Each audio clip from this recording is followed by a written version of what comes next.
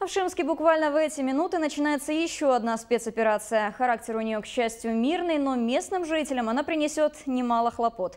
По территории Новгородской области вновь везут деталь для будущей белорусской АЭС. В Шимск она прибыла по воде, а теперь начинается большой сухопутный путь автопоезда в сторону Минска.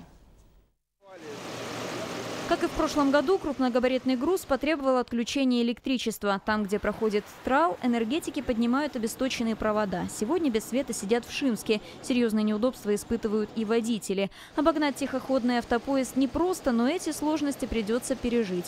К вечеру трал должен добраться до Нагово, а завтра доехать до Старой Русы.